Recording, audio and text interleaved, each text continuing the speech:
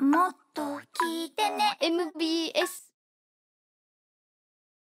MBS ヤングタウン今日は本当に皆さんがねその待ちに待った方々と来られておりまして、まあ、私もあの直接お会いするのは2回目なんですけども、はい。まあ、1回目はもうなんかみんなでこうひな壇のとこで会いましたんで、今日はこんな身近な方ぐっと近くで。ええそうですねいや嬉しいな。楽しみにしていてください。私、もうじきあのね私もあの格好にしますんで、並ぶんですか？奇跡の共演じゃないですか。笑福亭べと三遊亭トムと。田口まりと。MBS アナウンサー福島信弘がお送りいたします。番組では皆さんからのメールをお待ちしております。いいもちろん番組の感想や日常あった出来事なども送ってください。いメールはヤンタンアットマーク MBS1179.com ヤンタンアットマーク MBS1179.com です。またこの番組はインターネットでも配信しております。MBS のホームページからどうぞ。アドレスは MBS1179.com です。いやーでもね、まあはい。まあ後で紹介いたしますがね、はい。はい。あのやっぱりもうあのねはい。あんなんすぐにねそのテレビなんて出れないと思ってたじゃないですか。そうでしょ？そんなね、はい。まあ本来はあのそれがもうね、あこまで行くとよう出とんねん。いやものすごいですよ今。見ないテレ人はビつけたら絶対出てますから。人がええ人がええ顔がええねやろな、これはもう顔がええと思うよ。これあの本当やっぱ女性の意見としてすごくあの体が綺麗とか清潔感があるってみんな言うんですよね。体が綺麗。最初にこの方を見あの見られた時にうちの嫁もあこの人は清潔感がある確かにだから笑えるって。これ女性見てこういうこと言うんだなと思って。確かに。それぐらいやっぱり。品がありますよね。ごよろし紹介いたします。アキラ100%でくお願い。しますアキラ100%です。よ。ろしくお願いいたします。嬉しい。いや嬉しいです本当に。いやいやラジオでは何の値打ちもないと思う。でもこれはラジオでラジオはそれよう出んの？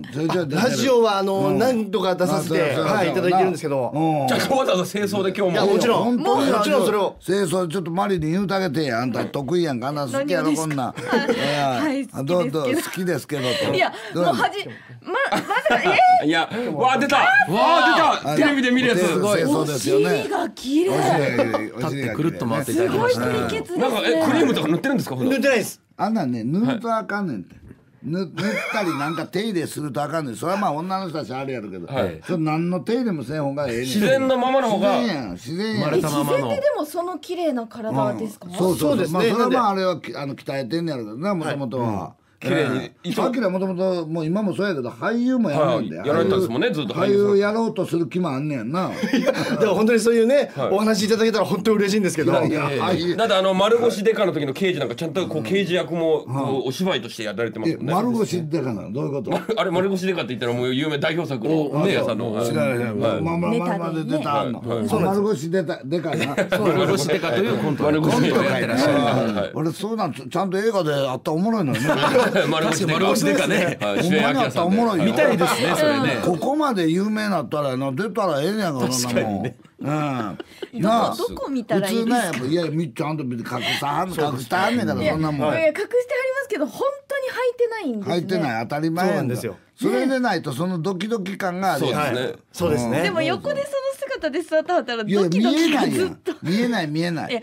全く見えない。だからよよく芸してる時に後ろにアナウンサーとかいらっしゃるじゃないですか、その方の表情見るのもちょっとした楽しみですよね。なんかみたいな人ありますよねそうですね。工場委員会の屈指のアナウンサーとかもう素敵な表情で、後ろ姿をフォルムを見てるあれどんな気持ちで見てるんだろうっていう。見たことない表情してますもんね。なかなか見れないですから。あでもまあ女の人は根本的にスケベですから。チラチラチラチラ見てますよね。女の人はもう根本的に男と女どっちがや言うたら女の人があやっぱ女性の方長が年僕65年生きてきてですね、えーに20ぐらいからそういう性的なものがおあの分かってきましたから、でまあずっとあそんなことはないそんなことはない思ったけどここへ来てやっぱ女の人の方がやっぱりね、はい。確信を持って。確信持ってスケベや言 う。性に性に興味があると性への興味がある。性への興味がある。確かにまあそうですね。で嫌なやつに嫌なことされるのは嫌やけども、嫌じゃない人には何されてもええっていうんであもうほんまに腹立ついやそれは何かね、こう、なんかね、意思の疎通があるんですかね、やっぱり。なるんでしょうね。ねいいって思ったらいいんでしょうね。それもダメ用にどんどんダメになっていく女多いやんか、まあだってなんでああの人ああいう人にハマるんだろうと同じような人に必ず騙されたりとかするじゃない。ですか。そうそれでもいいね。んもうごちゃごちゃ言わんといてと、ね。こっちが好きなんだからほっといてんなみたいなこんなええ人やのになんで飲んでも女はもうそっち一挙やけどいや悪い人とかするね。同じちょっと悪い人好きですもんね。悪い人好きやな。そうですね。そうですねって代表者。代表者。代表者。そんなことない。うん。代表者。今はうまいこと言ったはんねんもん。あいますもん。ね。うまいことこ言った。はんねんの頃にも彼氏がいらっしゃることも公表してる。て。普通の人やんな。そうですね。周りもいろいろいろんな男性経験を経て。前はね前はいはい。言うたらあの本当にあのプロレスの方とかねあのいろんな方そうもっと前はいそんなのろんな人公表されてるんですよ。理想は張り込み中の刑事さんでそうす好きな張り込み中の刑事やね。んて、丸腰。丸腰。な丸腰別に丸腰であることは関係ない。家家で張り込まれたらお前興奮すんちゃうかちょっとこう。丸腰でですか？丸腰。でいやいやもう。丸腰でじーっととんでもない変態です。よ。それはデカじゃないですよ。デカが来ますよそこにまず丸丸腰でが腰でいますって。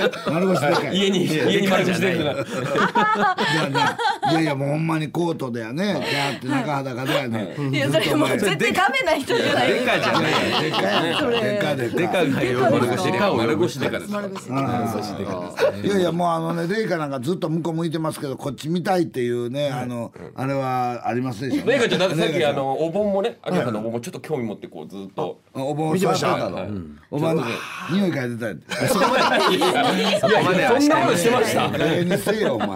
なあお盆の中心に匂い嗅いでた そこまでしてたんですそこまではしてないよね僕見てないからわかんないけど。綺麗な顔してますよ。あんな綺麗な顔してお盆の匂い嗅いで めっちゃ面白いですけど。顔の前でお前一回回せよ。匂いをこう。でもすごいですよ。本当にあの回すスピードっていうか。あれはいつあのアキラどうしたの？それは。いつ自分がこんなできるっていうのはあんいやのあの本当にあの2年前のはい。あのダウンタウンさんの番組で出させてもらったのが初めてなんですけそれはどでも m 1通ったからやろ？通ってない？通る前ですね。通る前に通る前にダウンタウンの出たわけや。そうなんですよ。出させていただいて、ん。でその時にあのーまあ受かりましたと、僕もあの信じられなかったんですけどこれでテレビに出られるなんて。いやいやオーディションをそれで受けたわけ。そうなんですよ。その前に何も出てなかったんその丸腰なんやらとか出てなかったです。あすごいなそれ、ああれそのためだだけに持ってったみたいなもんなんですよ。ああの宴会芸縛りだったんで、はいはいはいでそれで宴会芸縛りね。そうですそうです。ね。あのいつも本当にあの新年会とそうです。あーごちゃになってるやつですもんね。はい。で？でその時にそれが受かって、であのいろんな隠し方ないかと、であの先輩と2人でそのお盆を持ちながら2人でいろいろ研究してたんですけど、その表と裏側をこう交互に見てたらあれ向こうが見えないってことに気づいたんですよ。早く回した時に。あ。あそうかそうか。何かないかなってこうやってたらあれ？こうやったら向こうが見えなくて。でこれをちょっと向こうが見えないということはもう同じ柄やしそうです早くシュッとするととすると。あの同じやとね認識できないですよなるほど向こう側がね。残像でね。すごい人間の目ってそうなんだ。ほんまに知れたにあんなねあのそうやろ、マテヨとドリスがどっちやどっちや分からへんね 似てるからね。あれはどっちが押したんちゃかうんかいで抑えで出てんのんちゃうん。打たれとんのにまだ出すんかいと変わっとったよ。人間のね錯覚ですよね。そうです。ね錯覚一瞬で同じようなもんが出ると分かんなくなる。そうなんですよ。ああすごいなそれをは発見しましてそれ先輩が言いよったんそれお前ええな。とか自分で自分であの初め見つけてちょっと見てくださいっつって自分の股間の目の前に。先輩は誰や？名前なんて言うんですか？言うたってや。あのそれあの中根さんっていう方なんですけど中根さん。お前アキラ100%の裏には中野さんそうですね。中根さんの努力もあった一緒に作ったん。で。それで自分のそのちょうど股間の前あたりにこうやって体育座りしてもらって「行きますよ」っつってペロンってめくったら「いや見えない」っつって。それから30分ぐらい2人でやりっこしてその時の中根さんもそれやってです。ちょっとやってみてください裸でずっと話し合ってたそうですそうです。お盆それぞれ見えない見えない見え言って。ない。もうそれがもう2人ですっげえ面白くて。面白いでしょうね。その時飲んだ酒がむちゃくちゃうまかった。ですね。お酒飲みながら。中根さん。ほぼやってること中学生中学生中根さんもそれできんの？あのある程度は。そうですねある程度。うん、そうなんですよ。発見者はねアキラやけども、はい。中根さんはそれを見届けたわけやそうですね。中根さんも何遍もやったらできるわけよ。はい。あで見えない見えこんなないんどうですかっつって、はい。で初めやっぱり自分でこれ稽古のしようがないというか そうですね。あの他の方に見ていただくのがやっぱ一番いいので、そうですね自分で見えてるかどうか分かんないそうなんですよ、であの自分でしゃがんでみたりとか、はい。い、ろいろやって、それをもう一度やっていただいて、あこれもうちょっと見えないですねみたいなんで二人で裸でやりっこして。大人が大人が二人で大人二人裸で。でそういう血のにじむ努力でね。い。っそのことスギちゃん読ん でも今こう YouTube で素人の方が真似をされてやってるどんどんですけど。んどんどん上がってくるの？あかんの？いやあのいやいやあの悪いことないんですけど皆さんやってらっしゃるんですけどやっぱなんかね違うんですよね。綺麗なんです本当にだってあのもうが。R1 の撮った翌日ぐらいにはもうスロー再生出てましたよね。出てました動画で嘘。はい。もうみんな僕もうケラケラ笑いながらスロー再生スロー再生はどうやった。でも見えないんですよあれ。そうすごい。そうなんですよスローでも見えない。超スローみたいなのが全部いや動画でやっぱりそれがなかったら、そんなもん誰もね、それだけでこんだけもう次から次へで、あのテレビ出てあニューヨークまで行ったんやろ？そうなんですよ。やってましたね。これは捕まらへんかニューヨーク。それがやっぱニューヨークおおらかなのか、まあ、肌パンツ一枚でその街中歩かせてくれて。あニューヨークってそのパンツは肌のパンツ一応肌色パンツで。でまあ手でちょっとこう隠すとあの裸に見えますよぐらいの感じだったんですけどやっぱ日本だとあかんわなもう絶対無理だと思ってたんであの申請出したら通りましたっつって、はい、ええあれ一番のだってメインストリートですね。タイムズスクエアの前でやらせてもらってこれで。自由の国。ほんならみんな喜んだ向こあのそれが思ったより反応悪くて。あ全然笑ってくんないんですよ。うそやろ。それでも肌パンツ履いてるからちゃうの。でもそうかもしれないですねあと朝9時だったっていうのもあるかもしれないです。夜でもなく夜では夜ねが早いから撮りましたね。そうそ何を言うてんねんみたいなことになるやろな忙しいんだよ。朝ビジネスにね向かうのにこうコーヒー片手にねちらっと横目で見ても笑わずに言ってましたみんなね何やってんだろうそれがちょっと笑いがで笑うような感じやけどそれでもねライブもやってましたよね。ライブで。ライブは受けた。そうですライブは受けた。んですよまた真っ裸だよそうか。ライブははい。本物だからそうですそうです。あとやっぱ裸の迫力あんねんて。いやほんまに。裸ってすごいですよすごいすごいね。世界共通。裸ってすごいよ。やっぱりよくご存知で。そうですね。先輩としてやっぱり先輩としても僕は先駆者の感じなんですやっぱり。先駆者俺はもう200%やからいやいやいや鶴瓶200%だからねそうこの業界おるわ思ってるギリギリアウトやって。アウトかセーフか分からへんかった次の日大変やったんやて。俺は知らんよ。うちの会社がやのもう大変やった言ってたもんあの日でしょうね。あの日。私も目に焼き付けてますからやっぱり。あそうなんですか。見たの？いや見ましたよそりゃ。だって画面の前で。あの番組をあの芸人で見ない人いないですから。びっくりしましたよ本当に。度肝抜かれましたもん本当に。はあ今今っていう、はい。はい。あれはもう見ててよかったです本当に。歴史もうねテレビの歴史ですから。確かにアキラはそれはもう別に知らんかったやろそういうのは。俺がそんな。いやでもあの僕も芸人ややってるのもうその時は芸人やったんやそうです。完全に。なんでもうそういうのはもう知ってましたし「あのアキラ100%」っていうふうにヤフーで入れると関連検索ワードであの師匠の名前も出てくる。ええ100%スペース出てきちゃうんで。裸で繋がったんだ。裸ですごい師弟関係どんなすごい落語やってもあかんやろ。いやいや大ネタやっても検索してもそれしか出てけん。よネットは消えないですからね。ネット消えない。ネットは消えませんからね伝説化しますから動画で見ましたからね。すごいね。すごいだからな偉いもんですね。ますすぐ出てくるのはい。ロシアまで知ってんねんね。ロシアの人ロシロシアの人が。いやだから今日はこれからやな。そのメルボルン行くやんか、はい。その前は俺ロシア行ったわけやんか、あの家族に乾杯で、向こうの人はコンスタンチンさんいうね。あのコンスタンチンさんいうあのなんていうの？あの通訳の人。はい。はい。にこれ今日はよろしく。コンスタンチンさん。コンスタンチンです。チンはダメよって言われた。ダメしてんの？言うたら YouTube で見たよ。世界に発信されてるんですねそうですねすごいな、偉いもんやね。いいですピコ太郎さんの前にやっぱ師匠のもうねピコ太郎の前やったら。師匠の世界に発信されるもピコの太郎。らしいですうんねピコ太郎。ピコ太郎ですねピコ太郎ではないけどピコ太郎。意味がよくわかんない意味がいろんな太郎がいるんですねちょっとわかりませんけどねうちの息子やね。あそう え、アキラは結婚してんの？してますあ、してんの？で子供さんは？まあまだいないんですけど。いはい。なんかだってもう奥さんとの苦労話とかそういうのすごいテレビ見てもうよう知ってんねんいやテレビは見てますよ本当に。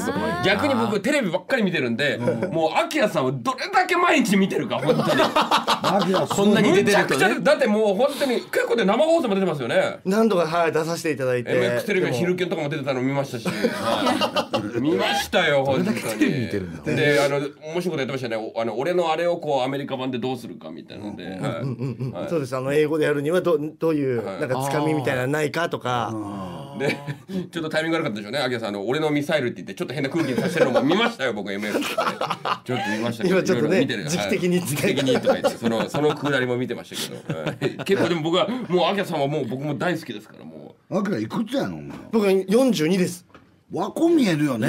見えますか？和子見える。めっちゃ和子見えるよほんまに。今年で43の年ですね。ええ若く見えるねそれおは肌が綺麗だから。ね。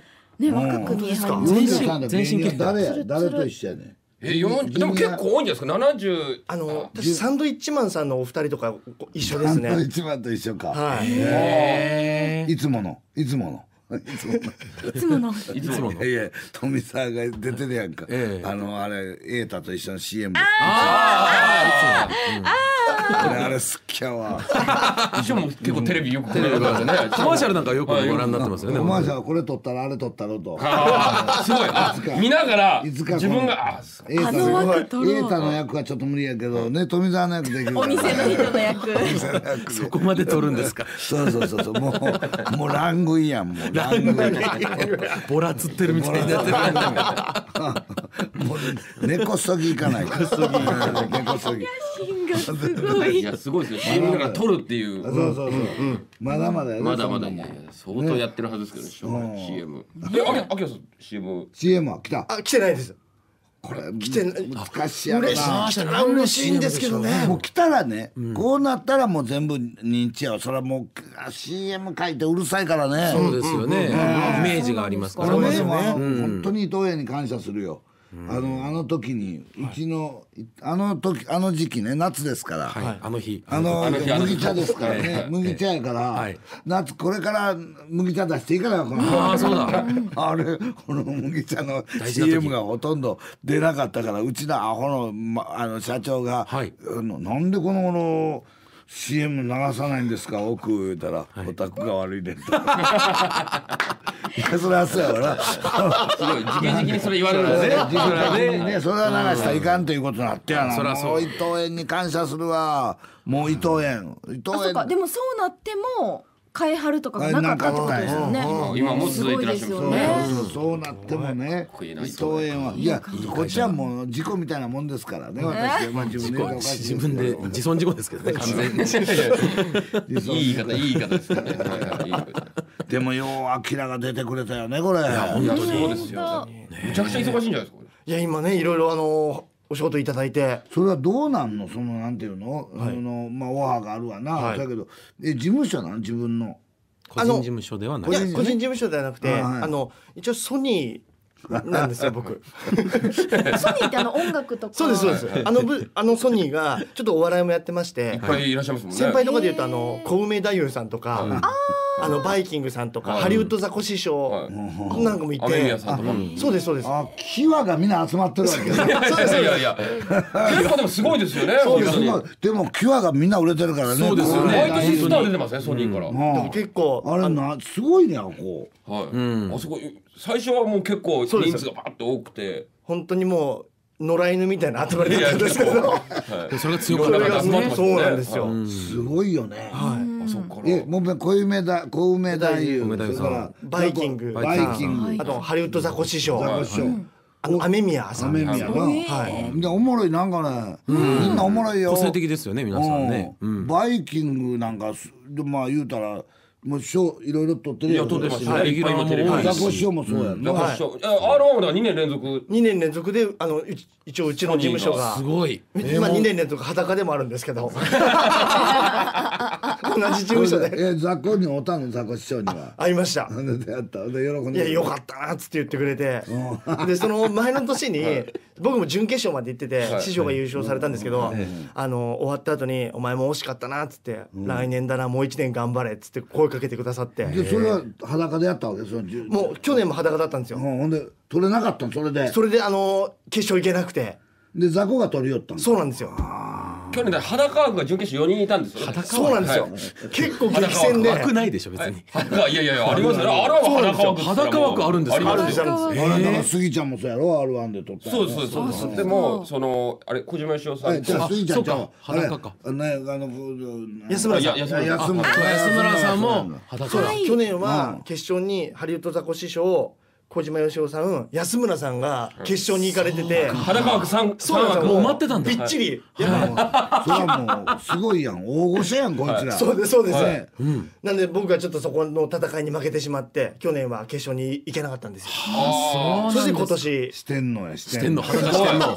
え嬉しい。裸してんの。最後の裸。最後いやでもそいつらも嬉しい思うよ。その枠をまだ一つ確保したんやからねそうですよね。全然ちゃんとから出られるよりもそうやんか。もうそんなん語れへんやんザコシショウなんか。まあそうですね。ザコあシショウに勝てないよ。すごかったですから最後もうすごかったよ、ね、いやだからいろいろ批判はあるやろ。何もしてないやん いやまだ批判はしてないいやまあ世の中にねそのいろんな声はでも俺ら見ててもその、見ててももう雑魚やろうなと思ったもん。これはもう会場があの一つになってましたもんね。勢いであんなん語れへんやん。ね。何あのザコシショウがもうもう本当にもうキラッキラしてましたもんね。もうバンともう大きな花火上げて勇気になりますよね。よかったですよね。すごいな。でも今年のいやそれこそだからもう秋葉さんのもうもうぶっちぎりでしたよね。はい。あの今年次今年ってえ新しい今度の新しい。あ次のということですか？出んの出えへんのやろ来年ですか、いやまだちょっと考えてないんですけど、でもやっぱり2年もしねいいまた裸でいいネタできたら出たいなっていう気持ちもあり新ネタがね。ちょっともしかしたらこの今度は逆に服着たネタで挑戦するっていうのもあったりするかなとか急にスタンダップコメディみたいなそれはもう言ねわない方がいいわさなすごい、うんびっくりしますよ。ね。それねだってもう R1 のちょうど決勝まあライブで一緒でしたねおお正月ぐらいのちょうど R1 の決勝の。いいメンバーが出てたんですあの三社池崎へーのすごい結構みんな出てるライブで、はい。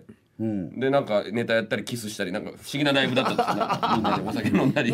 キスしたり。そうなんか違う違う。最後罰ゲームなんかキスしたりとかしたんですよね。なんかみんなで。めちゃくちゃもうわけのわからないライブがあってそれでも秋葉さんも出られて、もうねもう本当に会場が揺れるぐらい受けててあこれは秋葉秋葉さんうわこれは勝てないわって言って。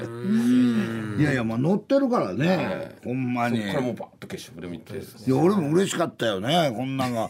あんないける裸の弟子 が裸の弟子も弟子も弟子でもないけど弟子でもないけど名前やろうかなと思った笑福亭はあかんしななんかいやいや面白いよねそれそうですよね指原莉乃さんも今公約上げてますよなんかあの総選挙1位にならなかったらあの刺し子100%をやるみたいな、とんでもない公約上げてましたよ、2日前か3日前に。あかんあかん。いやいやもうとんでもない。すごいとこまで来てるなと思いましたよ。もう秋葉さんの影響すごいですからね。すごいですね。まあでも女子やったら見えへんやろあの剃ってあのほんまに。鉛筆だけど鉛筆意味わかんないけ。ど何を言ってるんですか真剣に考えないとおかしなことになりますから。真剣に公約をしたことになります。筋だけでやな大丈夫じゃんダメですよ。つるつるやったらええんじゃんでもなんかわかんないです。この話すごいワクワクします。ねこれでも女の人やったらすごいやろな女性がでもやってる映像ありましたよ。あった。ええでも上は？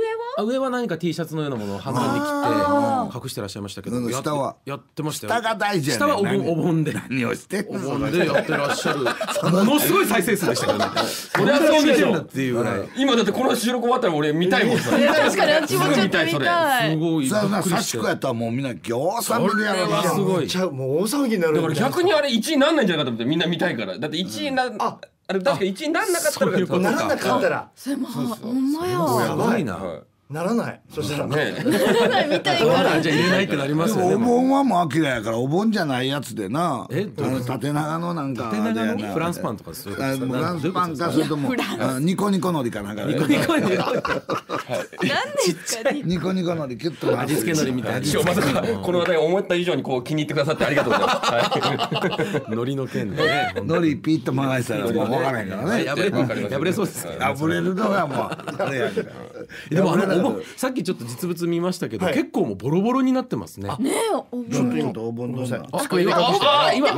これ今いやずっと使ってるやつなんですけど、はい。これ100円ショップで買ってるんでもうあ柔らかいんですよ100素材が。そうなんですか。100円ショップが一番ええねんでなそうなんですよ。ななんでいいんですか？これあの軽くて、はい。やっぱこうハンドリングがすごいしやすいんですよね。えちょっと持ってもいいですか、端っングがこの方だったら大丈夫なんで。うん。なんでやの？あの真ん中はちょっとあのやっぱり直に。直に。ちょっと。あーちょっとお気遣いも。おほんまや。お前顔の前でグッと回して。ふわっと匂いがこうしてもいいじゃん。匂いはしないでしょ別に。まあ匂い好きですからね。そう匂い大好きだね。違うものすごい匂いあの匂うの？匂う出ちゃうん強い嫌じゃないですか？あ全然嫌じゃないの。全然いやでも本当にキティティッシュとかできるんですよ。こう体つけて。何でもできるの？人のティッシュ嗅いでわかる。匂ってます。うん。ないねうん。ないギュッとはつけてないんですか？ギュッとつけてます。裏も裏も。でもなんかお家の匂いみたいな。昨日昨日のなんか営業のなんかタバコの匂いがしますねちょっと。なんかちょっと。お前よう嗅ぐな。ね全然。ここ福ちゃんようお前。タバコの匂いすごくします。なんかタバコのなんか昨日めっちゃ吸ってる人のお家の匂い。嫌じゃん俺そんな匂い。えそうですか。マジでなんかいやだってもう今今だって楽屋がすごいお前よう匂うな。いやなんか福ちゃんが買えんだからあ平気なもんかなと思ってさっきえそんなの嫌ですか？ああでもタバコの匂いがします こいつアホやわ。ようアキラいのやいやだってそんなとこ匂うな今でもスタースターのお盆の匂いが嗅げるんですから。いやいや大スター。スターのお盆ですよ。まあスターでもやなそっか。嫌やわ俺。誰のでも嫌やわ。でも鼻つけてないから大丈夫小栗旬でも嫌やわそんなん。いや一回は男やっいたら嫌やでそんなもん。でも本当にあのライブ前とかやっぱこういうお仕事の前はきっちりあのサラサラパウダーシートで拭いてきてますんではいはいはいそんなに変な匂いはしないと思う変な匂いだそこ拭くんですか？僕ね。あパウダーシートで？はい。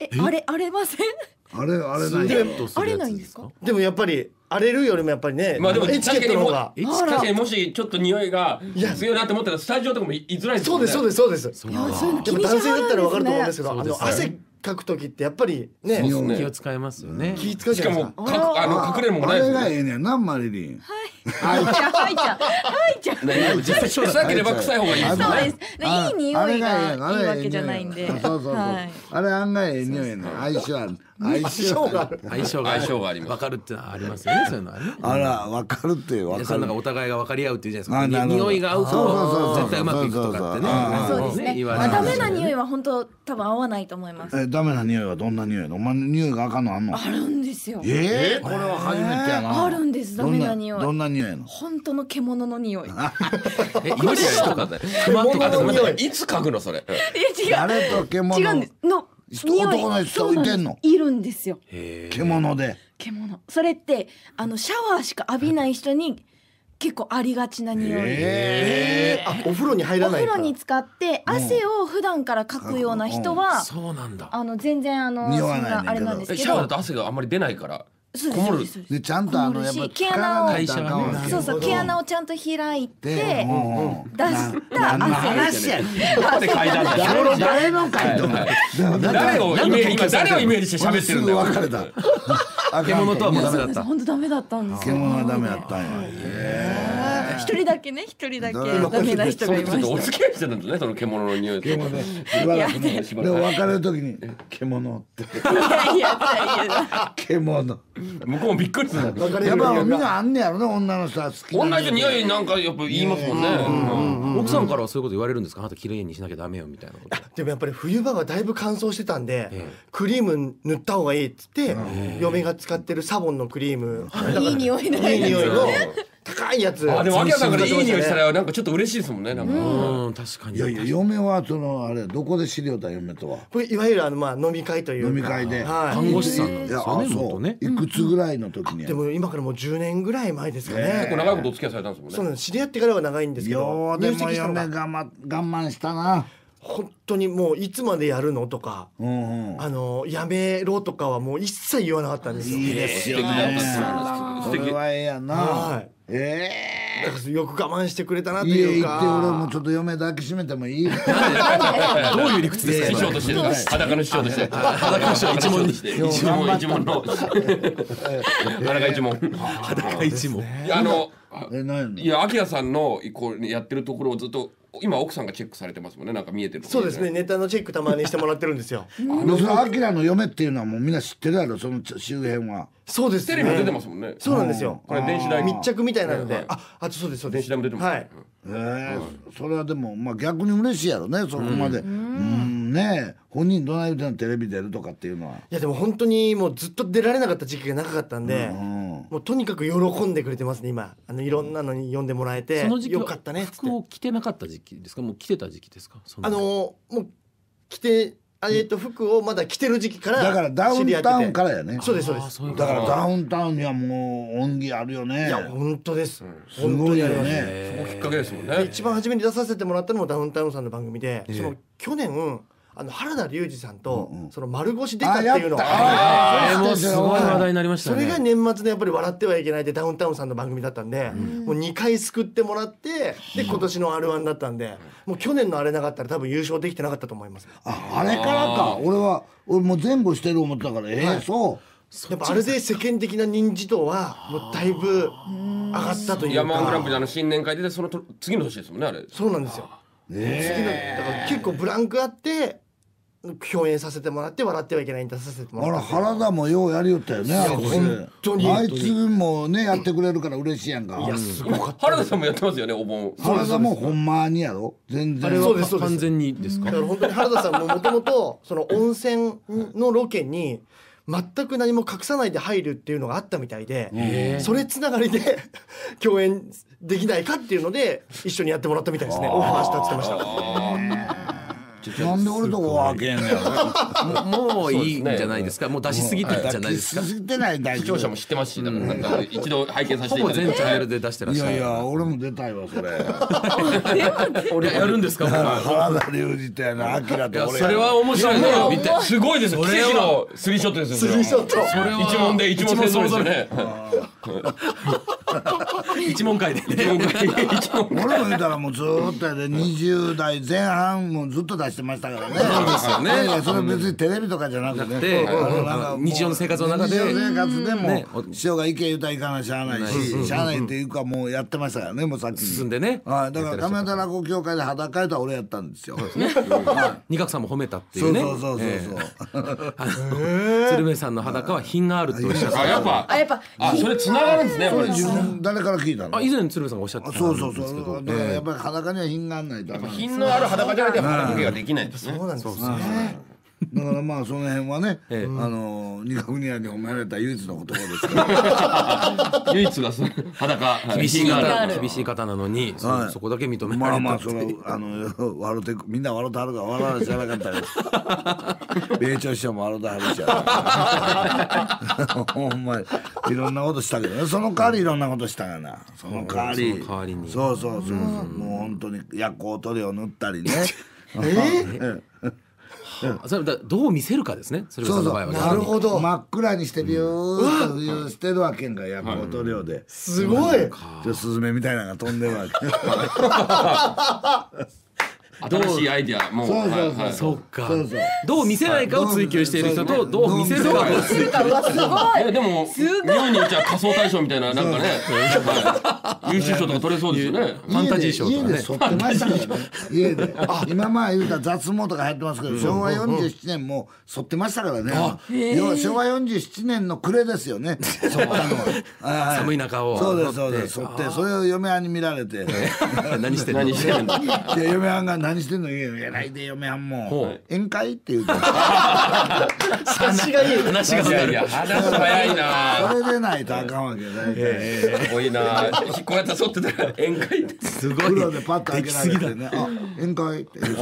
そうです。何やってんのじゃなくて自然の流れの中で。はい。すごい。奥様脱毛はされてるんですいや僕も剃ってるんですよ。除毛というかるんですか？いや僕もお金なかったんで、い、や本当に脱毛行きたいんですけど、もう本当に。もうなんか言ったらあかんかんもう剃ったらええねん。それのがいい俺は盲腸の時にあのあれですよ。あの剃ってもらいました。よあの看護婦さんに。27の時に。うんうん。その時は。お母さんい。やいやいやまあおかしくなってしまう。おかしくはならないと思います。おかしな。どういうこといや27歳意味がよくわかんない。27歳綺麗な方でね。ちゃんとこうゴム手袋で持ってくれはってギューって。やってああそれはダメだ。それはちょっとおかしくなってしまう。それはあかんやんかも持った方が悪いね。そんなんしてくれはるんですね。いやしてないサービスみたいに言うけどいやいや。医療行為や。医療行為。そうですね。そんなそんな体ちょっとサービスしますじゃないそんな。とんでもない病院。手術のために剃らなきゃ。当たり前でしょ。低毛ってあんねやなありますよね低毛やんかその手術のお前時に初めて聞くんか低毛って。低毛知毛らない。を止めるってこと？なんで？手も停止のそれ手じゃないやそれ違う違う。あの低毛だからや。あのはい。これじゃ毛が伸びないように。そうそうそう停止低毛カミソリのこはいはい。と書いてて。停止する停止する毛の方にする系じゃない。いやでも本当にもうこれやもうねやったからって合格したからそうやからあん。ねん。けどそのないもう本当ないとこやったなここはそのその部分がねはい。ようここまで認知されたないやもうもうもだってうむしろ服着てたらちょっと違和感ありますもん。ね。逆に服まあ服着てももちろん。今は気づかれるでしょうけどいやでもほほとんど気づかれないえです気づかれないの？あのたまにサラリーマンの方がはい「あれあきらさんですか?」って言ってくださってえサラリーマンとお子さんに気づかれることはたまにあるんですけど、ええ。でも髪の毛を下ろしてたりするともうちょっと雰囲気違いますよね下ろしてると。ほぼほぼ気づかれない。今日入ってきはった時。俺さった。あ下ろしたはったからうわ一瞬わかんなくて、はい分からない。やっぱりもうこの今のお姿が。はい、やっぱ髪の毛作ってると結構分かられるんですけど、うんはい、下ろしてるともうほぼほぼ気づかれないですね。いやでも近所の人は分かるやろあこにあくれあきら住んどるいうの。あでもなんかちょっとその町の商店街みたいなとこだと、いるんじゃないかみたいなのはあもう噂になってるちょっと噂になってるっていうの聞きましたね。うんこの町にアキラ100%が住んでる。ぞってそれもまたおもろいよ。ね、知られるか知られてないかの状態の時面白いと思うよ、奥さんが知られてるやんもうそうやったらな。でもあのね仕事場ではやっぱりこういろいろそりゃそうやわなちょっとテレビで出た後は言われたなんて言ってましたね。はい。そりゃそうやわな、はい奥さん蝶ネクタイししてしてね。夫婦ですか夫婦でえ新しい形新しい形。意味わかんないでしょ。目を目音裸毛はないですから。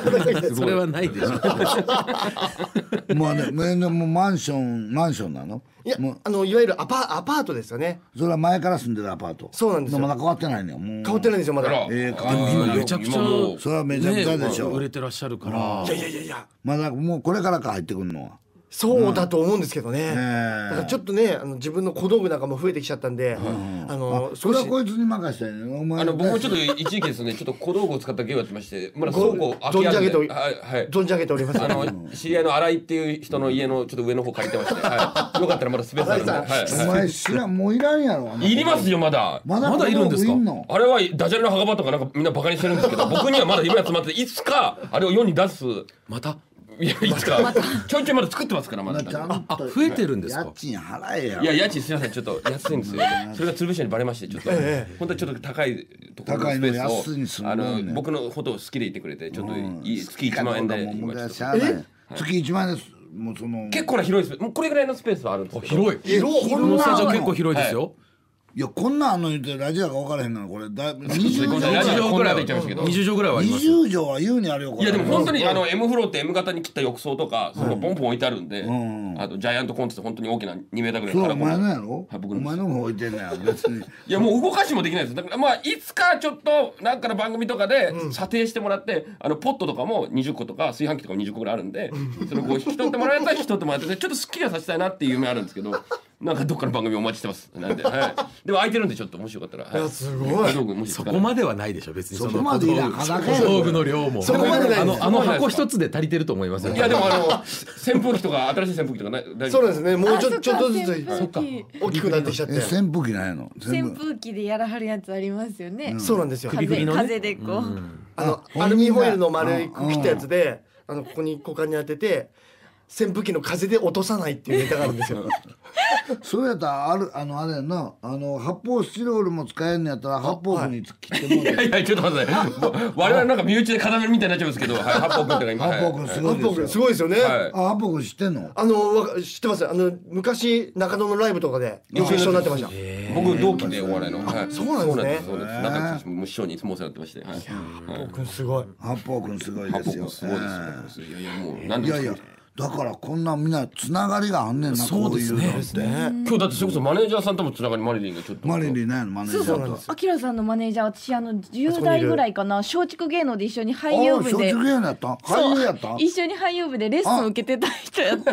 あの人獣なの？えあの人が。違いますでもよ獣臭絶対絶対絶対ね。なんかちょっとそんな感じしますけど、ね。はい。えそれでそうどこ？え？ーって。それで俳優部からあのお笑いやってたんですよ。松竹芸能でちょっとこの元芸間芸人さんされてた。で東京に行かはったの知っててでそっからまあどうしてはるかわからんくて。回る回ってここで出会った。あれ？みたいな。あれ？昔一緒にレッスン受けてませんでした？みたいな、俺は会ったことないのない。ない。ない。やよかった。よかった。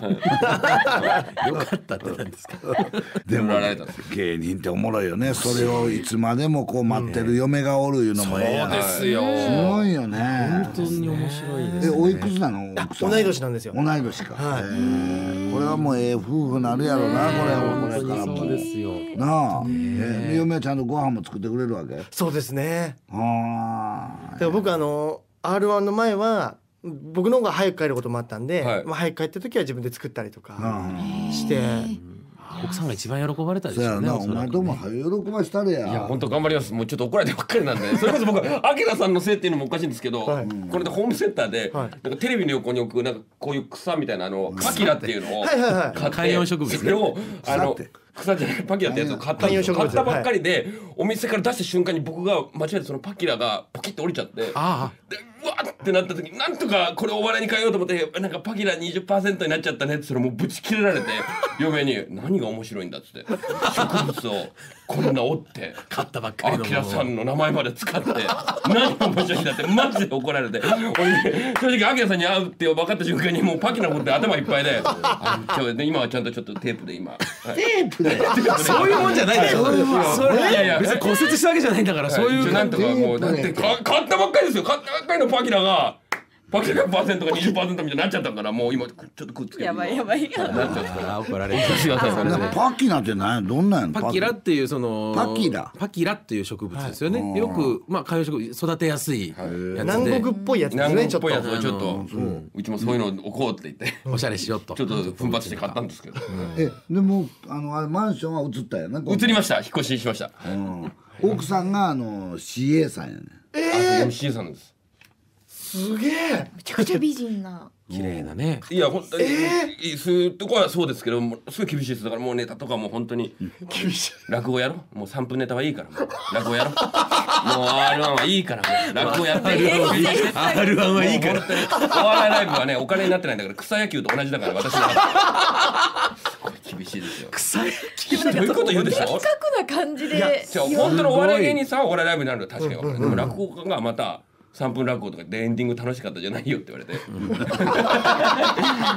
エンディングが一番盛り上がりますからね優勝するとかだったらまだしもつって。エンディング楽しいの？エンディング楽しいですよね。わちゃわちゃしてね。わちゃわちゃしてみんなで、はい。だからそのこれライブ楽しかったね。キスしたり、なんかみんなでワイン日本酒飲んだり。アホばえ今もステージ出てらっしゃるんですか？そういう。今はちょっとなかなかライブは行けてないんですけど。ええはい。もうほとんどテレビのお仕事そうですね。あとたにまにあのー営業みたいなのにも呼んでいただけたりとか。営業ってどこ行くんですかそれ。でも本当に僕呼ばれること少なくてええ。やっぱりあの360度オープンフロアのとこは無無理なんですよ。い だからわゆるイオンモールみたいなとこ行けないんですよ。ショッピングだってショッピングセンター大ショッピングモール。体後ろがエエスカレーターとかですもんね。そうです。で3階ぐらいからこうやって上から覗かれるんで。そうか。もうもうそういうところは無理なんですよ。無理なそっかやっぱり見えいわゆるたりもする。舞台っていう体。普通はだってこう下からあ上から下見たりとかしますもんね。なんかショッピングセンターの3階からこうステージそうですよね、は仰天ニュースはもう後ろから丸見えやった。ら そうですね。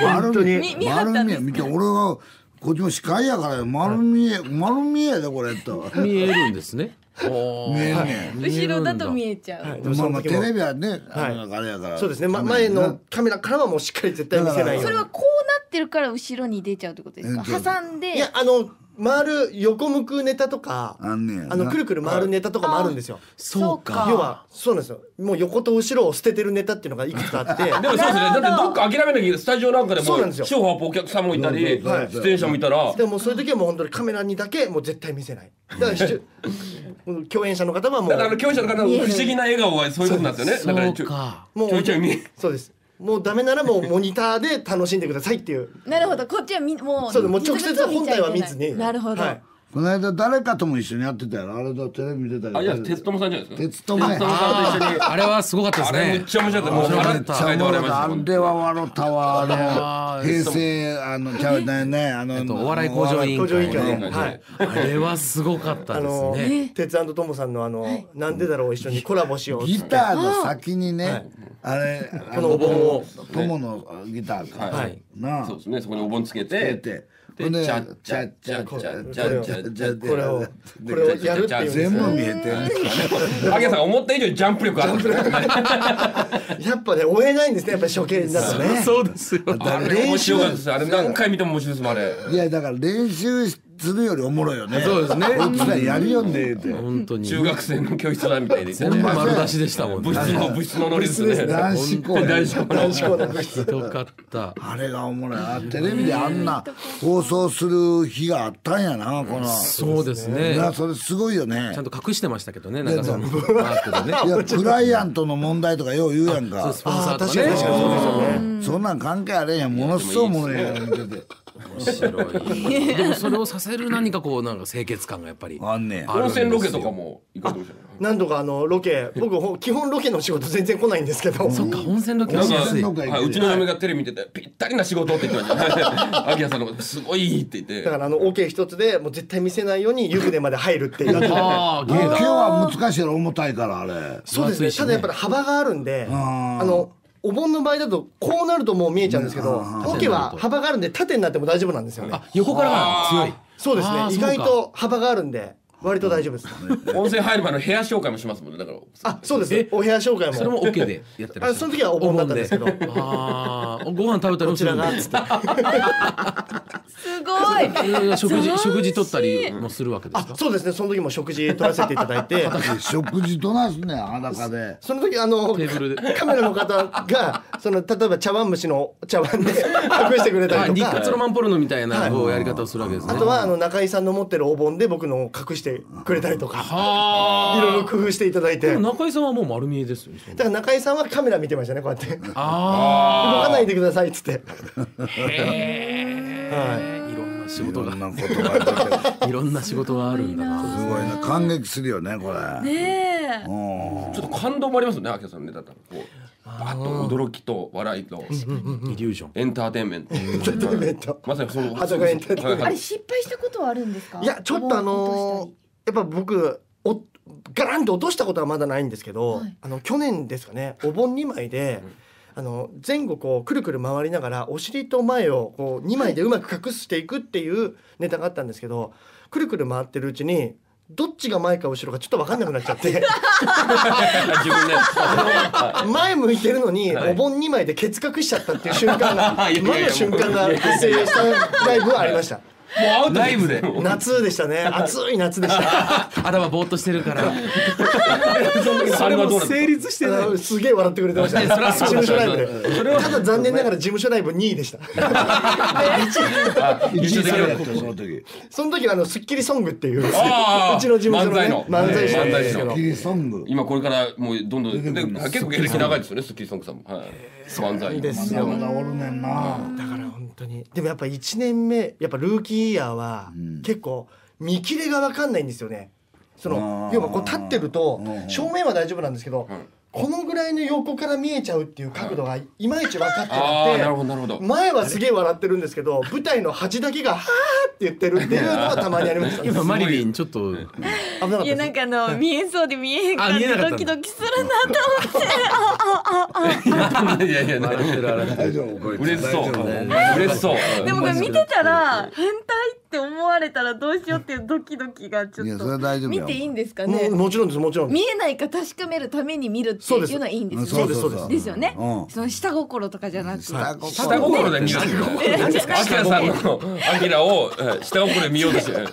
じゃなくてそうやって見てもいいんですよねっていう。そうじゃあそれはどんな見方してもいいわけそうですよね。あの見えたらアキラが悪いねんからね。そうです。そうかそうか。そうやろ？見せませんっていう。見せませんっていうことやねんそうですね。見せません。保証付きですからねそこはね。昨昨日行ったフィリピンパブの営業はフ どこ行ってんですか？の営業があるんですィリピンパブで営業だったんですけど。パパで あのーホステスさんはもうずっと見せて見せて。片言でずっと見せて。ちょっと見せて言って言って言って違うじゃないですか。見せない見えないって芸なのに。これは見せないってやつだっつって。いくら？いくら？いくら？いやいやもうちょっとい考え方が。くらっつって。考え方がおかしいよ。いくらじゃないです。だからあのあれなんかあのポールダンスのあのあれみたいな。チップをこう挟んでいくやつ。ちょっと見してあのおひねり。ちょっと見しておひねり。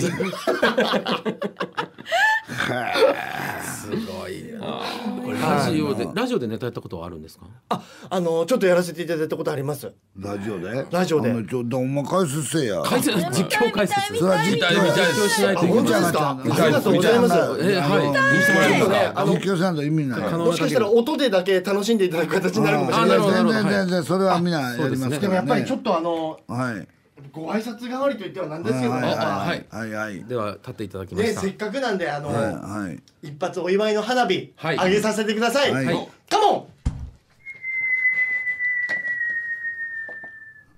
全然見えないちょっとちょっとあんた実況せなあかんから花火しない。人もんねんありがとうござい。ます振り返りました花火ですねあ続きましてあのはい。円盤投げってい。う技がありますんでこちらはい。フライングディスクですねはい。右手に持ってい。ますもうフライングディスク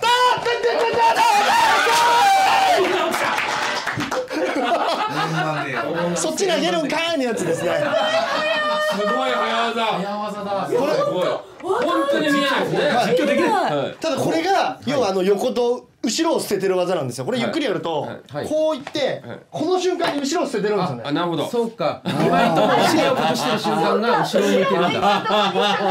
そうです。見えてるんですこれねもうあのデンジャラスゾーンになってます。もう後ろが。なるほどえー、すごいなそれどんどんそれはそのなんや中島さんちゃうわ。あの一緒にいた中根さん中根さん。ねうん。中根さんも今はもう見てくれたはんの？見てくれてますね。芸人はやめちゃったんですけど。あ芸人辞めはったん。あ、秋田さんの活躍を今。そうですね。今見てくれてますね。奥さんがそれチェックしてるね。これチェックしてます。徐々で中根さんと一緒に飲むわけ？いやそれからしばらくもう全然会ってないですね。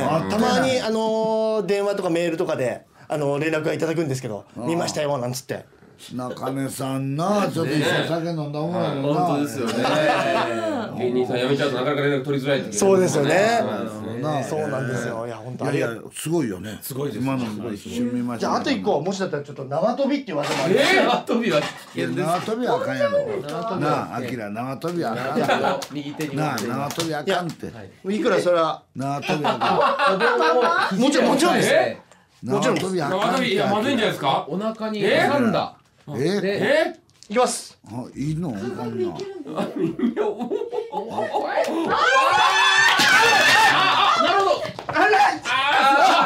すごい。体をきちんと隠して。すごい。落ちたけども体で全く見えるてないですよ。全全く見えてない。い。やーすごい。ありがとうございましすたごいそこまで警察来てたからね。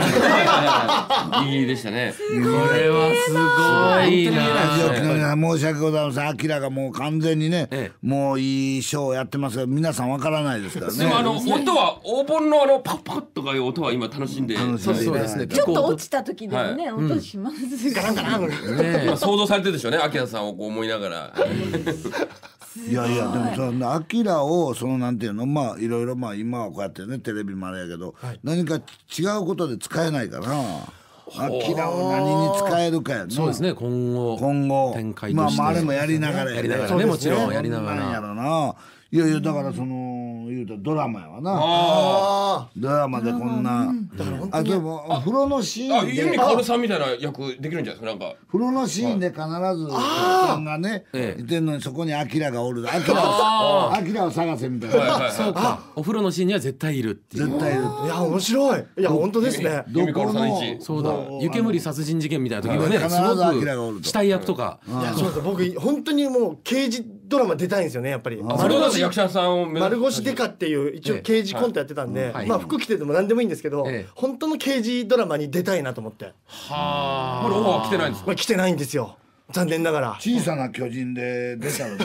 いやなんかなんか意味合い変わってきそうですけどね。なんとなくなんとなくちょっと違うこと想像しちゃいますけど。そうですね。諸葛のな。ね諸葛諸葛側ですかねどっちかっていうと。僕スーツ着ればまあまあ普通のサラリーマンみたいには見えるんで、うああまあ。あのイケメンっていうんですか男前でいらっしゃるからお顔整ってらっしゃるからはい。えどこやねん出身は？埼玉県なんですよ。埼玉県。はい。のどこや埼玉あの県秩父市っていう。ですね。ほんで太平と一緒やんか。あそうです。太平さんが僕あの小中一緒なんですよ。え？え？でしかもあの僕も生徒会長やってたんですけど、はい。あの太平師匠もなんか生徒会長されてて。太平いくつやねんな？ちょっと僕よりごちょっと上やろ。うんそうですね。小学校もちょうどあの50ぐらいじゃない。それぐらいじゃない。一緒じゃないんですよ、太ね、確か。平も花火しよるからな。ああそうですね。同じだ。ああら。で下の名前も確かアキラさんっていう名前。そうなんですよね。言ってましたそういえば大将が。あの地元のはい。後輩がはい。R1 チャンピオンになって僕もアキラなんですって商店の挨拶でそういえば。えまだお会いしてないんですけど。お会してないんですか？してないんですよ。へえ秩父の二大スター。名門校ですねそいやいやいや。ね。大変なかなかいいやつ。藤原竜也もあの辺ちゃうの？一緒で一緒の小中です藤原竜也すごいですね。はい。竜也100%もいいやん。いやいやいやいや見たいけど達也100%それ見たいけど見たいことですよ達也。達也100%達也100%完全に達也100%ピンコ達也いやいやもう言っちゃいました意味わかんない言わない遊び方も知らない単語が出てきました。けど言っちゃいました。えーあの辺そう知らなよ達也と一緒に行ったことありますからねあのうんそうなんですよ。本当に一緒でお姉さんと僕同級生で藤原君の。あっこのあのうなぎ屋さんあの近くにねあの有名なっていうかようみんな行か。はいはいはいはい。そっからよういろんなもん送ってくれはりますよ。もうええ言うてんのに。本当ですか？地元でじゃあご存知だあの名前多分行ってらっしゃるところはあの大変も行ったこともある。よね。そうですそうです。へ昔からの老舗のありますね。秩父秩父ははすごいですね。スターがたくすさん。ごいですね。あの学校の先生の教教員免許を持ってらっしゃるんですよ。先生になれるんですか？そうなんです。僕大学の時に教員免許取りまして、ええ。一応教育実習なんかにも行って。その時は服着てねちゃんとね。ほんならお前 NHK のほれなんか何やら先生であるよもっぺんまあ。もっぺん行くやつ。せあの教育実習的なやつありますれに裸で行ったらいいねんいいですね。ようこそ先輩ね。課外授業ようこそ先輩。いやりましたね。絶対見よう。それは見たいけどえーもう今あの番組やってないけど絶対見よう復活してほしい。ようこそ先輩に言うたれよ。そうそうそういうのあの番組まだやってるのかそうそうあれ面白いですよね。あれいいですよ何を自分にもいいところが絶対にあるよっていうのを見つけていく番組ですからね。子供たちに教えていく。いやそんなんどんどんできるでええよ家族に乾杯は難しいな。家族に乾杯の課外授業です常にね片手は塞がってますからね。あんまいろいろ体験できないですもんね。田舎のおばあちゃん分かるよ何してんの？裸の人が今街に歩いてるってうちの街に裸の人がいたりとかしてね無線でこういなんかや通報されても面白いけどないやいやでもそのなんか学校で教えるのもおもろいよね。それ教員免許持ってんだから。普通に社会科の授業やっても面白いかもしれないですね。いやそれ試験だからの問題。小中は頭良かったんやろなすごい。もう教員な言うたら。そうなんですよ委員長にもなってせやろ。そうなんですよ。僕小中ようまあ割勉強した。ともう勉強ばっかりしてるようなへー。勉強好きでどこで変わったよお前？だから僕高校の時にうん。演劇部に入ったんですよ。あであの中学勉強しすぎて目がすげえ悪くなっちゃってそれでその眼鏡しながら野球するっていうのがちょっとなんかこうまだうんでまあねなんか自分の中では納得なくてそれで演劇部に入ったらそれがすごく楽しくて。でそれからなんかその舞台というか役者になりたいなっていう時期があってでちょっともともとお笑いもちょっと好きなところもあったんでで30からまさかそっから開花するとはなそれお母さんらは隣とはんね。んお母さんらは初め。そう出るまでは。もう頭おかしなったら思われたやろ。いや本当ですね。だからもお袋ももうど大丈夫？みたいな感じで心配してましたし、親父ももうもうちゃんと働けってずっと。ちゃんと働ちけゃんと働け。お前何やってるんだと。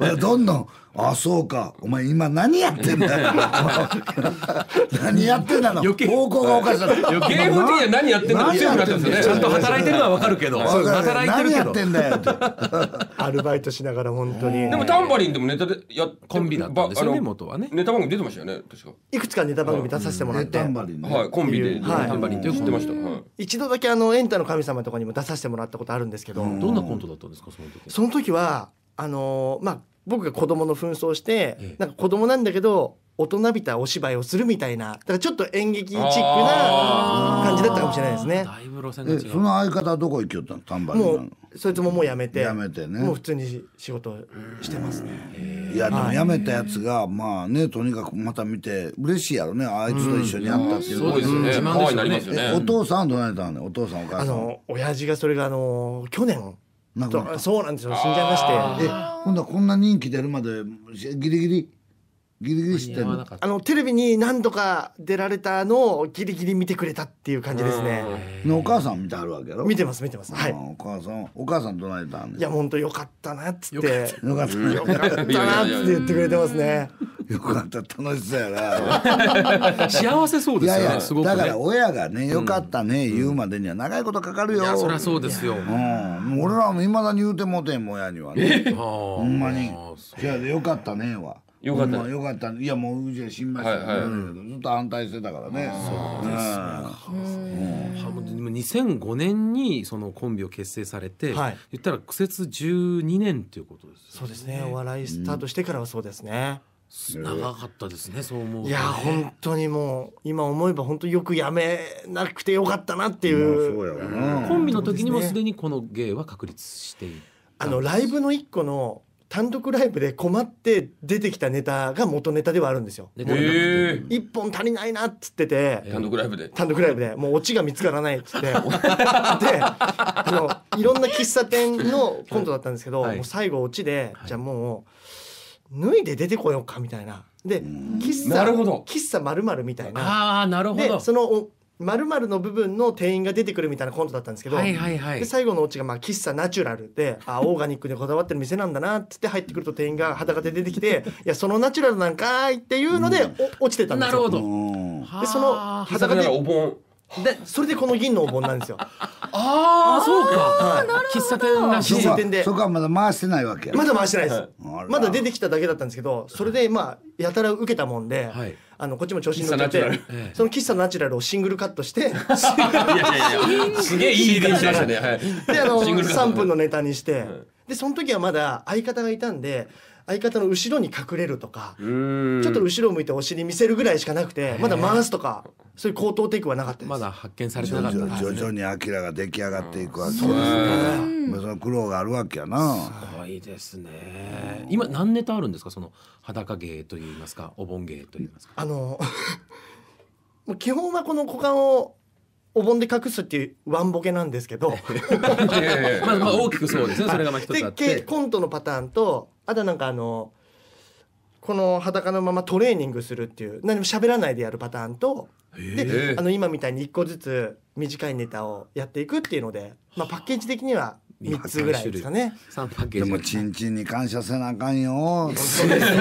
それに。感謝しそれ感謝だそれがあるからみんな。なそうですね。それが見てはいけないものとなってるからハラハラドキドキということですよね。あのもうこれなんかな足の一部やって言われたらやな。うん。そうですね。見ていいものだった見らていいものだったら全然あれですね。そう足の一部。足の一部やでって。はい。ね。そうですよね。ここがおかしい言うのがおかしいやんけって昔よう言うたもんや。これはだって 韓国共通でやっぱりちょっとそうやそうですでもね裸で生活してらっしゃる部族の方の前でやったらどんな反応になるんですかね？まあまあね。全然やっぱ受けないんですかね。それいけるやん今度な。本当ですね。お前はなんで隠してるんだって言われますもんそうねきっとです。ね何をしてるんだと。出せと。いうそうですね。フィリピンパブ以上に、はい、出せ 出せって。フィリピンパパまた意味が違うな。ラジオは持ってないねまだね。その一本自分がレギュラーでとかいうレギュラー番組とかそういうの何もないです。は そうかレギュラーがまだないっていうのがまあ一つ。まああれやなんかね本当に一つの夢というか。テレビ出てんねんからな、ここ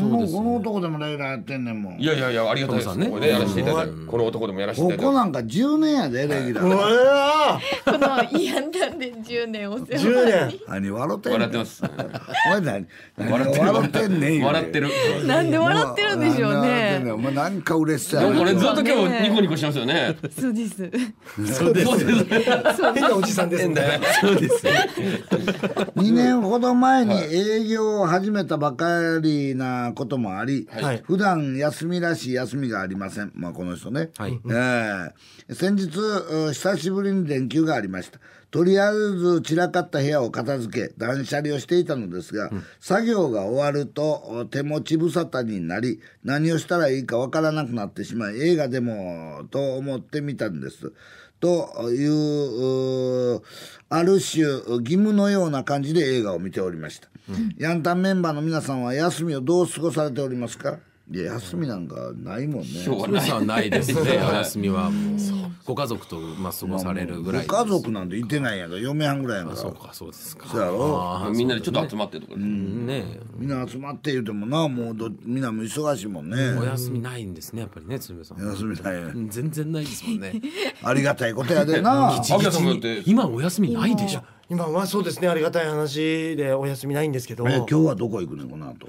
この後はうんあのまあ打ち合わせがいくつかあるのと打ち合わせ打ち合わせに何何を打ち合わせるんですか？見えるか見えないか。ねネタネタ番組だと思う、ネタのはい。うん。だからネタ番組にアキラがおったら絶対にねいいよね。あアキラが出る。最後はアキラが出るとか、そうですね。れ出るとかいうのは、はい閉まりますよねぐっとね。これが夏になるからな。ああの寒ないしな。そうですね。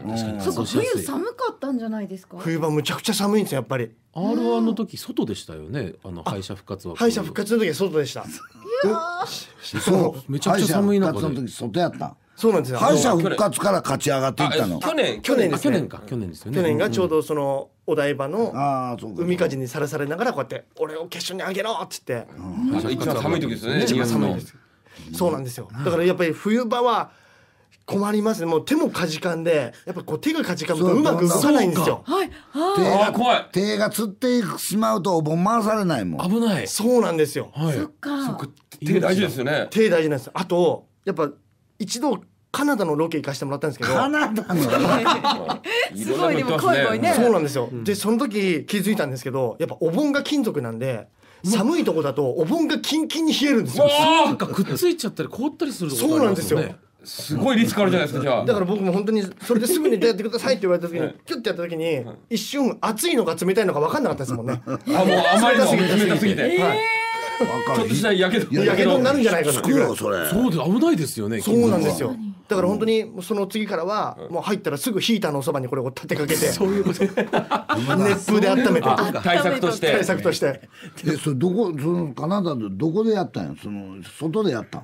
それはあの外はあのタンクトップと短パンでロケ回って、でその後にあのライブハウス入りますっつってそのままライブに出させてもらったんどです。けどうやったんカナダの反響ではもすっげえ笑ってくれたんですよそれがやっぱり。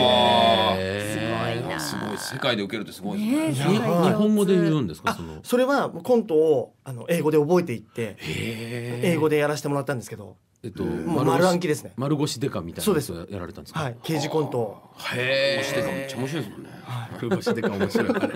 英語でもなこれまあもともと頭が良かったからな俺。もうしゃしゃもうしゃべるのちょっと。いやそれが全然できないんです何よの先生の教育は？社会科です。社会科。これこれはい何ですか？高校の公民ですね。公民。あのいわゆる例えばその政治のシステムだったりとか、あとその税金の なんとかとかを教えるそんな授業ありました？あの地理と歴史と公民って分かれてて。あ確かに。へ選んだりとかそうなんですよですか？ジャンル。というジャンルかって何？社会のレコード屋さんじゃない食いついてんの？結構分かるかな。高校行っていやいや言ってるけど全然覚えてへんねんもん。いやそうなんです。習ってないです習ってないもしかしたら理数科とかす違う違う違ういや。いやそんなねそんなんじゃない。だからそんなもん理数書いたらこいつ9足されへんねんから。9苦手なんで。数字がちょっとええ苦手で17足す9でもあかんよな。そうなんですよ。33足す9は？9に。違うここから42独自な計算法な独自な計算法も。一回十の位を横に置くんですね。新しい計算法に入れら足す9もえいことやな。あそれもえいことですね、うん、4242434445464748 独自すぎる。指折り数えるパターンですね。本当にずっと高校生の頃からも指折りしかできなくて。指折りそうです。ねもうよりそれをカンニングと間違えられるっていう。それはそうですよ。そんな変な動おきしてたら。前机の中に何隠しとんじゃんって怒られてみんなの前で。違う指で数えてんねん。そうかって言われいやいてやいやいやいや。先生が気を使う。先生がもうごめん。ごめん。公民は中学校で習ってるはず習ってるよ。いやないないない。ないとある公民の教科書って中学校の時あったと思うけど。そう。えもう中学はもしかしたら社会科っていう。社会科なんでも公民って言うよそれは公民はい。知らないんだ。と京都には。記憶に京都にもある。いやいや京都にもあるよ。京都にありますよ。京都以外に謝れよ。京都。かわいそうに。ありますよ。京都にはないって言っちゃった。ニューヨークに住む94歳のアイリスさん。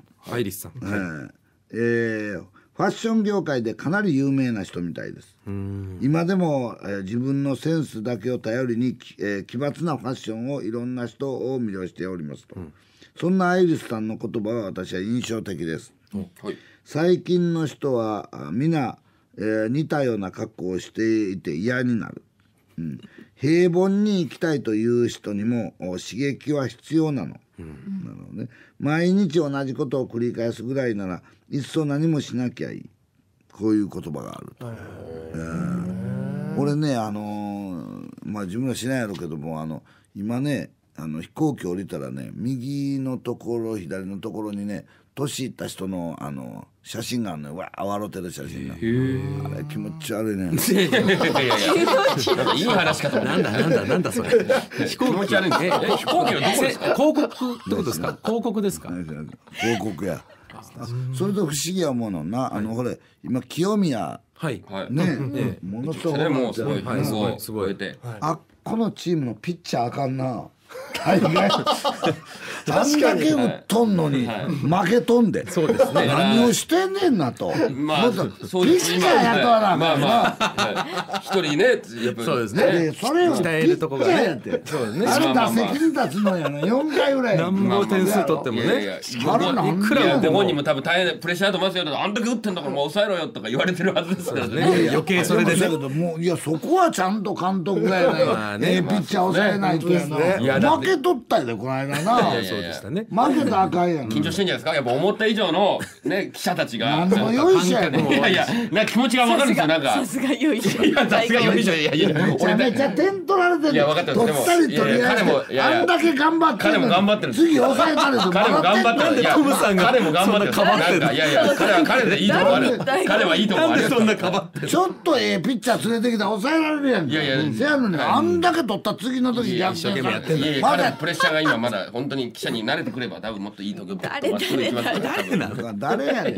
何を見てるんいやなんか気持ちがちょっとああいう。すごいよ。負けてんねんもうびっくりしたよね。でも逆にまあ点取り合いみたいになって面白かったりしますけどね。いやでも全然あこまで打ってんねんから抑えたらいい確かにね。もったいないですよね逆転してな。そうですね。同点にもしてんのにまた逆転またこれがこうドラマを演出する どうしたの？なんで肩入れるのいやちょっとあの奥さんの親戚かいや奥さん親戚じゃないですね嫁の親戚じゃないです別にはいどういうことかわからん頑張ってください応援します僕は皆さんこんばんは酔っ払って怖い酔っ払うって怖いですねこの前酔っ払って帰ってきて知らないうちにネットで猫用のソファー買ってましうわた怖いなあるなでも家に届いたもののうちには猫おらんし人間は小さすぎて使えないし結構値段がしたため嫁に怒られるし散々な目に遭いましたと。皆さん最近買ったものを失敗したなと思うのありますかっていうのね。もういまだにあのあれは本当にこれもう人生の中でですねあのぶら下がり健康法ね。一、はいはいはい。回買うてりましたね。あのやめますよね。もう、まあよくありますよね。ね。長いこと、長いことあって、でまた嫁と「ぶら下がり健康法で気持ちええな」ってまた二台買うてね。いまだにぶら下がって。あ二回目やっちゃったんですか？それ同じの。健康器具あるあるみたいな。あれでも本当ロングセラー商品ですよね。多分。今もあるずっと売ってますもんね、あんなんどこでもぶら下がってええねんから、家に。東京と大阪の日にはぶら下がらんねん。ちゃんとどっちでもいけるように。何にもしてへんの上の皮めくれてきてんねやもう。あんな悲惨なもんやで。こうやってやって経年劣化でね。そうそうそう。えーあーなるもう。ほど結婚にはいいんでしょうけどね。いや健康やけど俺ぶら下がり腕打ったから。できないんでできないねんあれ。どなんかいるかあんな。上めくれてるし。体型維持みたいなのされてるんですか？そう鍛えてあるんですか？いや僕あのずっとスポーツクラブでバイトしてたんですよ。もうお笑い始める前ちょっと前からもう15年ぐらいやってるんで。え？それで自分でレッスンなんかも担当してたもんで。えそれで何のレッスンですか？あのバーベルエクササイズなんですよ。重たいバーベルで、あの陽気な洋楽かけながらこうやって、うん。あのスクワットやったりとか。えーちょっとやってや今。え？今今いや持ってましょう今そうですね。お盆持ってますよ大丈夫？それ。お盆持ってますからはい人にそん。なちょっとちゃんと持ってください。私横横。私横やでこれ。お盆持ってますから。はいはい。オッケー。それでは背中いきましょう。っつってワンツーワンあデッドリフト。一二みたいなのをずそれやってっとやってたんですだからほんだらもう腹筋割れてるやんそっか。そうそうそう。それ何キロぐらいの持ちながらそういう？あの部位によって違うんですけどでも一番重いので20キロとか。20キロ持20キロちながらエクササイスクワットズ。こうやるんですよ、えー、いやスクワットが怖い。は い今え今はもう行ってないの？その優勝した後はいけてないんですよ。まだあのやめるやめないの三段はちょっとやできてないんですけでどそやけどそのね見てある人まあそういう先生や思って見てある人が「えあの人ちゃうの?」っていうことになるやろ。なるでしょえだってもうそのちょっと前からテレビ出てたじゃないですか。その頃もやってたんですかじゃあまだ。そうですそうです。まだでやっててあの結構年配の方とかもいらっしゃったんですけど頑張ってねなんつってあもう。よく応援してはもらってたんですよ、ああなもん。だからまだ本当に優勝してからまだいけてないんでちょっと一度ご挨拶行きたいなと思ってるところなん凱ですよね。旋でいいですよね。しかもそんだけえあれまでいやなんかさっき秋谷さんと話しててなんかもう寝る暇ないんじゃないですかって言ったらバイト時代の方が寝てないっていうぐらい。え夜中までやってた。そう。なんですよ。あの僕は5時半に起きてそのスポーツクラブ行っていて、でライブって夜遅いじゃないですか。あそうですね。そうか。で10時ぐらいに終わったとしても家に帰って飯食ったりすると12時ぐらいででまた次の日5時半に起きなきゃなんで そっちの方が辛かったんですよねサイクルが。今よりも。そうなんだ。でやっぱレッスンするんで、眠すっごい眠いんですよ疲れますよねそれはね。疲れるんで、えだから今の方がすごくあの健康的なえ。体調がいい忙しくい忙しいんですけど、からもしかしたらネタのせいであんまり仕事がないんじゃないかなと思ってちょっとドキドキしてるんですよ。そのあんまり今までの歴代チャンピオンに比べて仕事が少ないんじゃないかなと思って。まいやいやだそんなはずないですよ。これは僕が言うのもなんですけど、R1 は本当に毎回存続の危機だってする時あるじゃないですか。なんかね、毎年来年開催されるのかって、やっぱりでもその年のチャンピオンがこう活躍されることによって僕らの勇気になりますから、はい。両秋谷さんめっちゃ出てますから。そうなんですよだから今の方が全然寝られていてあそうかそうなんですよ普通のバイトしてる時の方がもうんあんまり寝られてないからこんなんでええのかと思うわけそうなんですよ。そうか楽なんだはい。寝られないってき噂では聞いてたんで、俺寝られるなと思って。すげえ寝てるけど大丈夫かなと思って。前の方が寝てなさすぎて。そうそうなんですよ。前寝てなさすぎて。いやもうだから俺ら分からんようになってくるよ。どこで出てるの寝るのがどれぐらいが本当に忙しいのかとかね、だから逆に言うとポッと空いた場合、例えばこの間家族に乾杯行った、そやけどあと帰ってきたらこれ夜からやったら出れるなと思う落語会に出るわね、はい。だから、あだからで打ち上げも打ち上げもみんなにして、はでそんな繰り返しやんか、あこの時間が空いてだから今日今度メルボメルボルンで落語会するけどもしばらくその鶴瓶話からその前はしてなかったんよ。落語を。4月のそうそうそう。4月の何日からはもうしてなかったんよ、はい。だから1か月近く空いてるわけよ。それと舞台上がるっていうそのなんていうの？その感覚を取り戻したいがために僕は行くねんけど、それはうち会社関係ないからね、だからその間に入れなあかんわけよ、うん、落語会を。で着物いるやんか裸やったらええねんけどね。そうだね でももう完全なる裸じゃないですかね蝶ネクタイあるし。今今更乳首隠してどうする？どうするんですか？やっぱだからそうなんかやらな不安な時あるね。師匠でもやっぱちょっと開くとやっぱ舞台の感覚やっぱり。いやもう全然違うね、うん自分の中で取り戻したいものってあるやんかやっぱり。あこれぐらいの感覚かっていうのは。そうですそう。忙しい時の方がそういうの入れるんですね。入れる入れる。反対にね。うん。今ちょっと思ったんですけどな何歳までこのネタをされるんでしょうね。いやそんなもんはなもう何歳でもできんねん。おじいさんになってもさいやおれるんですじいさんになった方がおもろいで。やってほしいおじいさんにアキラ100歳100%でもいいですね。いいですね素敵ですよ。なんか園芸ホールみただいな。から忘れられたらあかんわけアキラ100%をそうですね。何の形でもアキラアキラ100%は出なあかんわけ、はい。やっぱりもう続けないとこれは。そうですそれやりながらまたややり続けないと、うんもうそのなんていうの？あこれのええのは、あのそこがものすごい健在やから、その部分が、ね、え。だからいつでもワクワクするわけよ、はい。そうですね。なるほど。あれが別に新鮮じゃなくなったらやな。そうか。あれやけどあれがある分みんなずっとありますもんね。ずっとあるもんそうですね。ある日ある日突然なくなってしまなくなる。うんですねそうですね。あるいは退化したいのおかしいやん。ちゃんとありますもんね。あれがそうやんそうか賞味期限がないんだ。賞味期限あれへんであんなの。常に生常に生あの新鮮な。そうですね。新鮮な。状態で。マリリンはどんな顔で見てるの？違う。今夢で見たと思って。この光景夢で見たと思って。どういうこと？いやこれがある限り。ああ帰りかいけこれデデジャブみたいになんねんけどね。子供しか見んだよあのーはい。今回ですね、はいはい360度カメラというものを出ました。すごい番組でご用意。て見ました。僕も初めて見ました。どうなってんのかがわからんわカメなラがこれ全部で6台かな、くっついていてあのいわば、えー全何部のために作ってんの？ちょちょっとこれは僕もよくわからない。球体みたいになってるんですよね。だからつまりこうカメそうラがです。でこれを VR って今話題のこう疑似体験できる映像、まあ、スタジオの雰囲気をそのままこう、あ映像レンズレンズで見てるみたいになるで右向いたらどこで流れるわけ？これはどうするんですか？もしうまく撮れてたらホームページ上で公開しようという。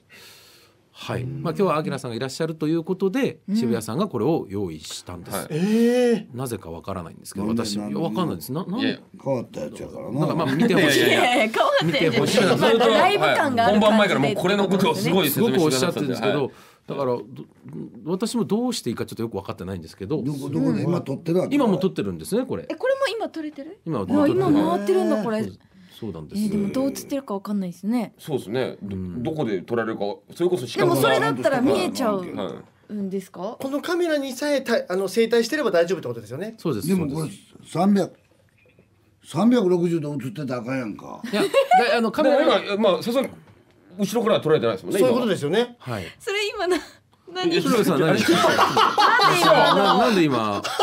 いや裸じゃないのに。メールちょっと待ってそれえ師匠。メールのバインダーなんですけど。師匠。それが100%師匠。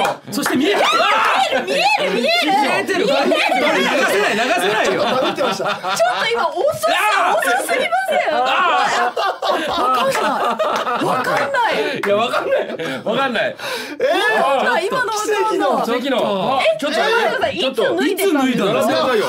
えずっと？どうぞどうぞどうぞ。とあのあちらでも大丈夫ですよ。向こう出ていただいても結構ですよ。上も脱ぎおいえええうわ。えあれ？あお盆あお盆まで。よあらららら。あ入れ替え 出た。えこんな興味あるですか？なんでわざわざ女性のスタッフさんがお盆もでも確かにあのあ首かけますか？あんかでいいですかいや確かにあのいやすひ品のある裸ですやねべえ！これはネットニュースだ。これ絶対ネットニュースになるこれは。いやいやなんでこれうわすごいすげえ後ろにちょっと曲がってますけどすいませんちょっとこれあそうですさすがスタッフすごいよご両人よご両人鶴瓶100%じゃあああきらさんなんかこう指導と言いますかそうですねこれはやっぱりやっぱでも先ほどまだお盆ではされてないですもんね、やっぱおおすごい。見えない。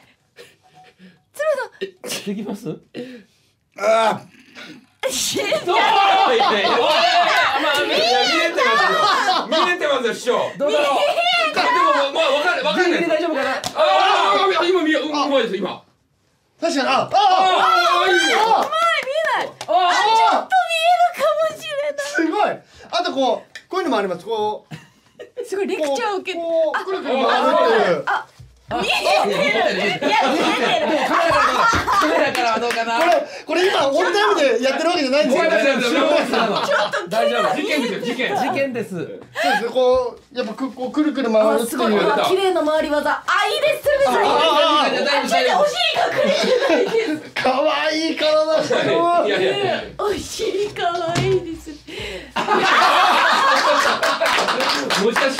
し禁止持ち出し禁止大丈夫持ち出し禁止誰も持ち出さないです師匠のやつ持ち出さないです大丈夫です出せないです師匠持ち出せないですやっぱ裸が綺麗いや本当になんか肌綺麗。いやいや本当にめちゃくちゃ綺麗夢の清潔感ありますね。いやあります。